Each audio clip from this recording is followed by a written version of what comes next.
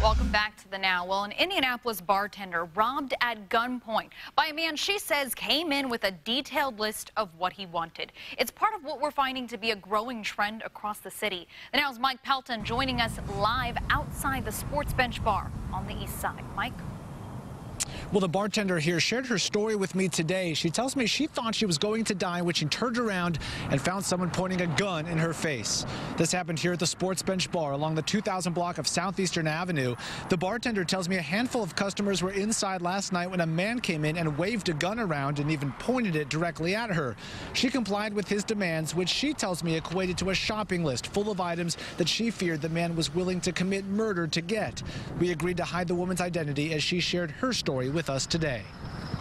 Lottery tickets, Hennessy, I mean, all the money. Yeah, I mean, the only thing kept going through my head was my kids, my kids, my kids, my kids.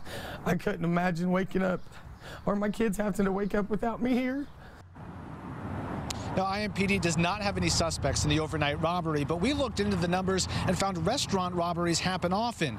We found 51 IMPD robbery reports at restaurants this year, spread across the city, and many including armed robbers. The reports include everything from fast food joints to bars.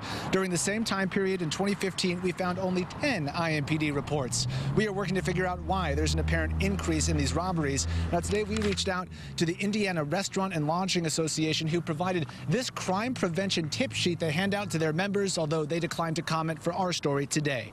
We're live tonight on the east side. Mike Pelton, RTV6.